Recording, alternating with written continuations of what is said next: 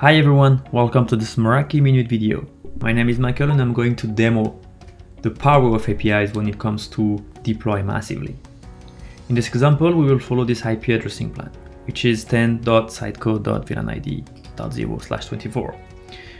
I'm going to call my script and use the site code 144 and the script is going to create a network and configure the VLANs, routes, and firewalls.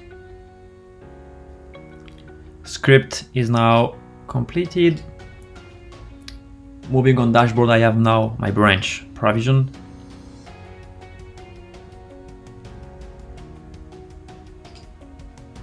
Those are the VLANs provision 10.sitecode.vlanid, the routes, and the firewalls.